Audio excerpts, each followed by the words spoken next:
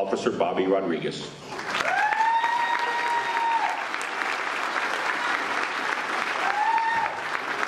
As a symbol of your oath and office, it is my pleasure to present you with your badge.